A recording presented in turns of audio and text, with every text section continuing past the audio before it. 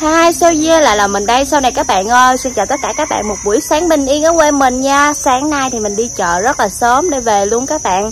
Đi chợ về thì đổ mồ hôi luôn các bạn ơi. Dạo này ở quê mình á Nắng mưa thất thường khá là nóng nực luôn các bạn.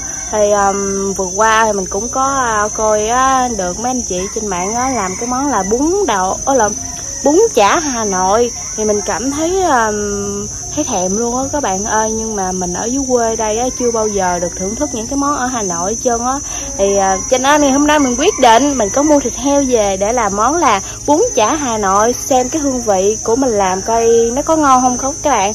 Um, tại vì cái này là mình cũng đã tham khảo rất là nhiều ở trên uh, um, YouTube luôn. Và mình cũng rút ra được kinh nghiệm để làm riêng cho bản thân mình. Nói chung là mình cũng làm không có đúng lắm các bạn. Ờ, xem video và góp ý cho mình để mình có thể làm cái món này ngon hơn nha các bạn. Và bây giờ chắc là mình sẽ vô nhà chuẩn bị bầm thịt để làm cái món nem ngày hôm nay nha. Và nếu các bạn nào thấy clip ngày hôm nay hay nhớ để làm một like và nhớ con nút đăng ký kênh nha các bạn. Và bây giờ đi thôi! Thì đây này các bạn, sáng nay mình chuẩn bị ở đây được là một ký thịt heo nha. Bây giờ mình sẽ sắc ra.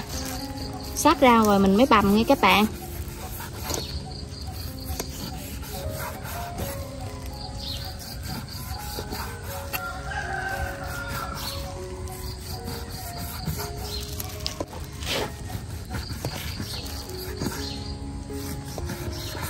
Bằm thịt thịt á, thì mình cũng đã bầm xong, bây giờ mình sẽ cho tỏi hành vô. Cho một tí xíu dầu hào vào. Sẽ cho sốt, ướp thịt nướng vào. Trong đây thì có cả bột nêm, đường, bột ngọt rồi. Cho nên là mình sẽ khỏi cần để thêm gia vị nào nữa nha các bạn. Và mình sẽ trộn đều lên.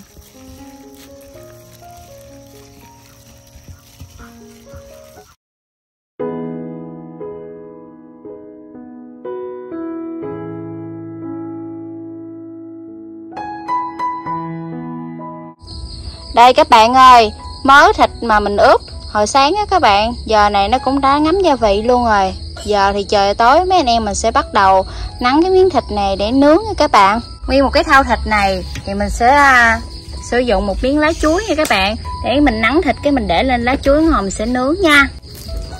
Mình sẽ lấy cái muỗng.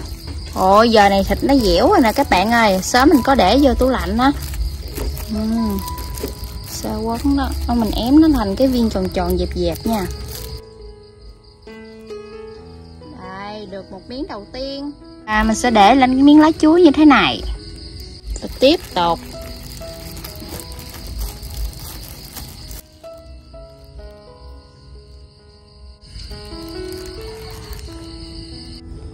Để ăn bún chả Hà Nội thì mình không thể thiếu là đu đủ và cà gót nha các bạn.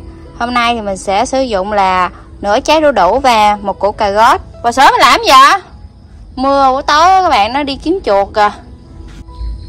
Hey, mình sẽ sắc cái củ cà rốt này. Mình sẽ sắc nó hơi mỏng mỏng nha các bạn.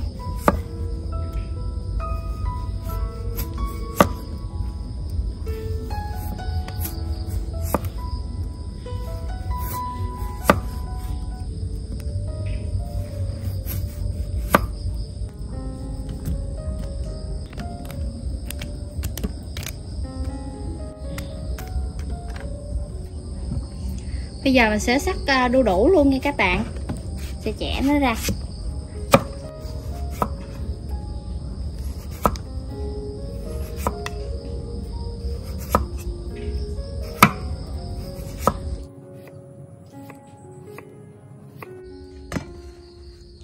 Đây, cải với lại đu đủ mình đã cắt xong. Mình rửa sạch luôn nha các bạn, bỏ vô thao. Mình sẽ cho vào đây là ba muỗng đường. Rồi mình sẽ cho nước giấm vô. Giấm này chua nha các bạn. Trộn đều lên. Cho đường với lại à, giấm nó hòa quyện lại với nhau. Và mình ngâm đi ngâm đây khoảng 30 phút là ăn hồng sẽ ăn được. Ở đây giờ mình sẽ cho khoảng 3 giá nước vô. Một giá đường này mình nấu nước mắm nha các bạn. Mình sẽ để một giá giấm vô. Và xịt vào đây khoảng một giá nước mắm.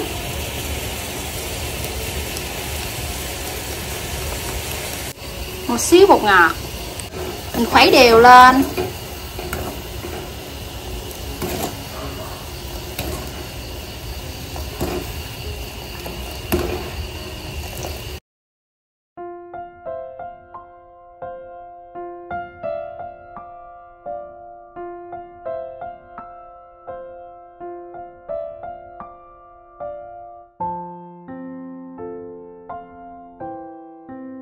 Đây anh hai đốt hàng sớm giờ nè. Giờ sẽ bươi ra.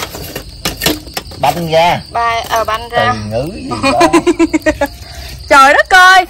Thằng bò sữa ngồi sau lưng nó chờ ăn nè anh hai. Ôi nóng quá. Bò sữa. Cho lên nướng thôi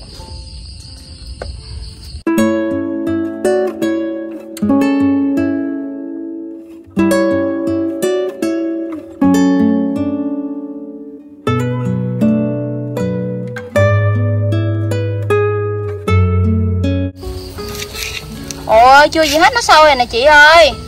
Nó khét miếng lá rồi nè. Cái bà chị ơi. Ui, Cái miếng lá chuối chủ yếu là để cho nó nóng lên rồi nó kết dính cái miếng thịt bằm lại á. Ôi bên đây nữa nè anh hai ơi.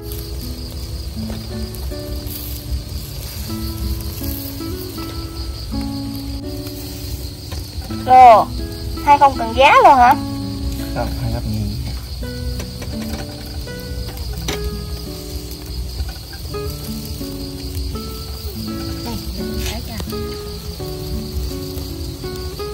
vậy. Gấp cục gỗ bên đó để bớm đi làm á. Đi dễ chở.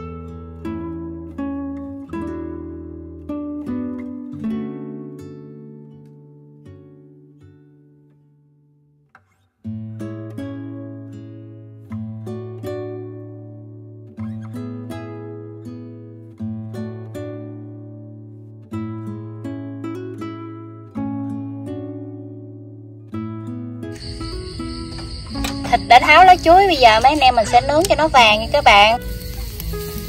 Này nướng thì cũng nhanh lắm các bạn ơi Tại vì mình ép mỏng thôi Trời đất ơi bà Cụng ơi. Ban đêm đóng thấy mày luôn mày. Trời ơi còn thằng bò sữa kìa. Nó nằm chỉ đưa cái đít kìa anh hai. Đang ngắm cảnh. Nên là ăn Cái gì vậy bây giờ Không tin đâu chuột chuột chuột chuột chuột chuột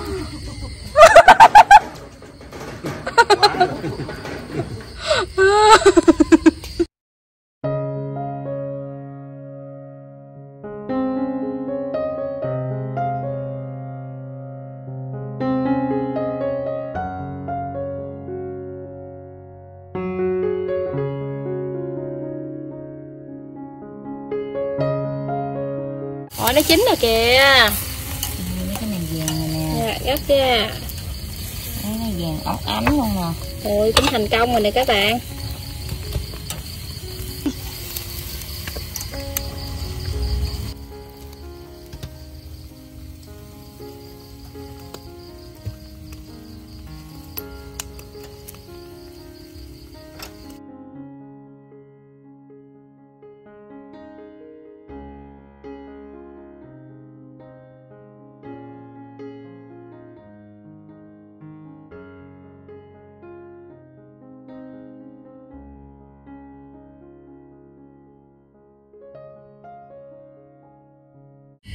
Đây các bạn ơi, cuối cùng thì mình cũng đã hoàn thành cái món bún chả Hà Nội. Nhưng mà đây là mình coi trên mạng và mình học theo thôi các bạn ơi. Mình không biết là có chuẩn hương vị không nữa. Nếu mà các bạn nào ở à, ngoài Hà Nội á, coi cái clip mình đó đừng có à, ném đá mình nghe. Chứ tại vì mình à, chưa bao giờ ăn hết trơn các bạn. Mình cũng muốn trải nghiệm thử cái ẩm thực à, ở ngoài Hà Nội coi như thế nào nha. Ở đây thì có gì anh hai? Nước mơ. Mơ. Đây này các bạn, nước mơ nha. Mơ là của ở bắc mới có mà ở Đúng ngoài rồi. có cái này. Ở ngoài à, miền Bắc thì mới có ở quê đây đây là đặc biệt là nước chấm. Anh hai mình nói sao mình không có để ớt với, với tỏi. Tại vì mình thấy à, loại nước chấm này ở trên mấy anh chị thì không có ăn à, tỏi ớt gì nha các bạn. Rồi sẽ em sẽ múc nước. Ăn này là mình phải nhúng bún. Ủng hộ vậy? Nhúng bún à, đây nè em làm cho. Đây. cái gì đâu. Để múc cái này. À. đó. Đây đây. Xong rồi mình phải um, gấp dưa chua. Đó là cái này là cái gì ta? Củ cải với lại uh, đu đủ. đu đủ. Đó. Người ngâm cái gì trong đó? Dạ. Em ngâm đường với lại lại giấm ngâm chua rồi chị nhúng bún à, rau nhúng ăn á Rồi, rồi, phải- đi. chấm đưa ăn đây. á. Này Đưa qua đây chị với hai tự xử cho. Dạ hả? Đây. Đây, ăn đây. nước chấm này em em làm theo công thức à, em học coi trên mạng á. ăn anh làm cho nó thấm giọng á Nè uống nước mơ đi. Đây mình để miếng bún vô. Đây là các bạn cái chén của mình nè. Mời các bạn một miếng nước mơ nha. Ý. Đúng không chị? Ừ. Đó. Nhúng nhúng như thế này. Ừm, Có Rồi mặn không vậy Bỏ miếng chả không? Mời bỏ miếng chả vô. Không em làm nước chấm này để ra ăn bún chả mà. Ăn cái này không? nha. Thử rồi ăn kiểu um, Hà bún Nội. Chả Hà Nội. Nổi tiếng lắm chứ bộ. À bún chả Obama hả? Đúng rồi. Này vậy Gấp nhiều nhiều vô. Nha Thử rồi Cái này nè mới ngon. Thôi chị không ăn đu đủ. Ừ. Ăn cái này thôi rồi miếng này coi. Đây Mời các bạn. Ăn với lại ba anh em mình nha. Đây mời các bạn. Mình thử rồi các bạn ơi. Con cục chảo á. Ừ, ngon. Đây. Trộn đều lên cỡ nào? Nước mắm mặn dữ không đã làm nước mắm lạc Đúng rồi. Ừ, đây mời các bạn nha. Mời các bạn nha. Ăn bún chả Hà Nội đi bên ừ. Ừ. Cái này nó bị hơi giam hơi gần chín rồi. Nó không giòn lắm. Ừ. Cũng được đấy. Chất lượng nha. Thấy sao? Nhưng mà có cái gì nó hơi chua Chua. chua. Chua. Chua ừ, chua. Được cái em ơi. Cũng được.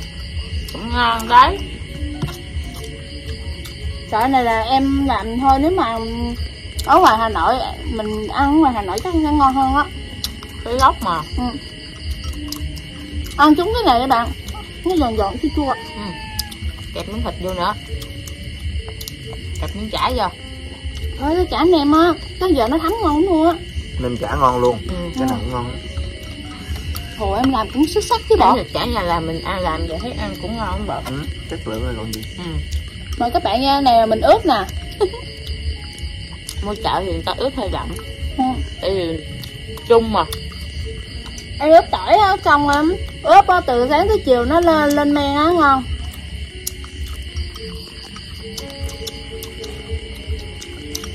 Rồi mình làm xong mình để tủ rồi mình ăn mình lấy ra mình ăn cũng được nữa. Ừ. chả ngon quá. Bên Hồi nay nó biết tỉa bông luôn nè ăn. Ôi chị ơi, cũng biết chứ. Rồi em, thịt nước Ừ, thịt nước Có gia vị chê anh ha. Nãy giờ bà bỏ bê tôi dặn là Này này cho miếng rau đừng giận em trai. Ừ. Trời ơi, quảng vậy ơi. Ừ, Thương. Ừ, Xì lách Trời ơi, ăn ra thấy thương không Con chả thì ăn có cái chất đụng gân gân Ăn nó có gân Có Có gân gân, có gân Ừ. Có sụn mà ừ. Ăn cái này thì phải uống nước mơ Cái nào của em vậy? Cái đại nay đi lại. chưa uống Chị chị uống ly đó đi thôi nó tràn trề Mời Dạ, các ăn bạn ngon. nha Ngon ăn đi ơi. uống nước cho là Wow. ngon á Ôi hình như nó có ga nước mơ ngon Ừ. Ngon lên men á như rượu á. Uống rồi xỉn luôn. Có chua chua. Ngon Ê, ha. mình cho bim bim ngon. Miếng được chuẩn. Nè bim Thấy mộ rồi. À. Này chén luôn hả? Ăn này giống hồi hồi ăn mì bún đâu ở miền tây mình nói vậy ta. Nó cũng tựa tựa vậy đó Nhưng mà khác chị chỗ một cái là ăn với cái um, đu đủ uh, ngâm chua. Ừ. Rồi á là nước chấm mình sẽ làm hơi lạc Và đặc biệt là nước chấm em không có nấu bằng chanh Mà nấu bằng có xíu giấm vô. Thấy chưa? Ăn nữa nó có mùi giấm. Thì ha. thì trong dưa chua cũng có giấm luôn. Ăn này cũng như tựa tựa bún nem nướng á. Ừ.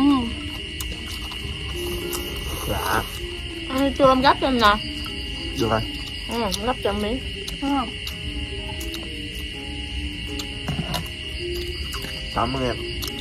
Ừ. ăn đi nào Đây, ngon mấy em mình chiến hết cái gỗ bún này đi. Chơi. Bữa tối à ăn ngon quá à. để dành bụng là ăn món này mà. Quá ngon. Em muốn này. chính ra nem nướng cũng dễ làm nữa hai quay đều lên. Cái vị cũng giống ừ, nem mỗi khi mình mua ha Đúng rồi. Cái gì ăn nó vừa hơn nè. Ừ. Ừ Ừ, rồi mình mua là quá ngọt Ừ. trời ơi chị ơi chị em lại chị cho nó một miếng với. Đúng cho. Cho miếng nó ăn nó biết với người ta. Thế nào. Ngon. Quá đã. À, mình đi bún rồi Rồi thì mình cũng mà sắc keo để vô. Cái này là kiểu chưa này là em làm nước nấm mắm là nó hơi đậm rồi đó. Em thấy người người ta còn lạc nữa. Ta để nguyên một chén nước luôn. Dữ rồi ừ. Cho vô.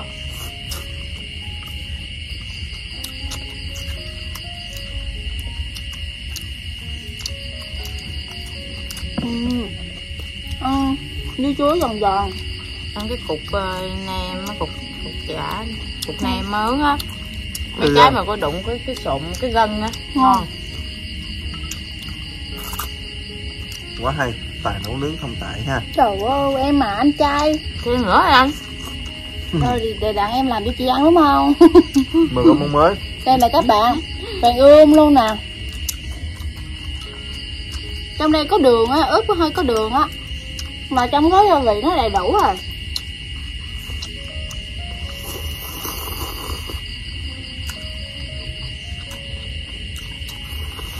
mình phải càng thêm thì nó càng làm nhiều cho mình ăn chứ.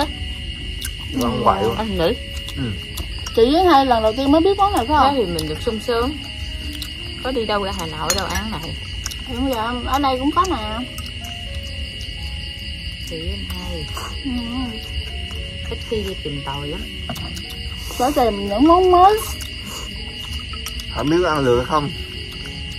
Mà đây là đặc sản nè em thấy ngoài hà nội có một quán của um, ông Omama gì đó đi ăn là người ta đóng khung cái chỗ ngồi luôn á. Giờ mất hình các bạn à. Đúng rồi. Đúng rồi. Cái Mà- chén cái đũa rồi không ăn rồi giống mà từ đó là ở đó nổi tiếng lắm nha. Từ đó về sau là ở chỗ đó nổi tiếng lắm á.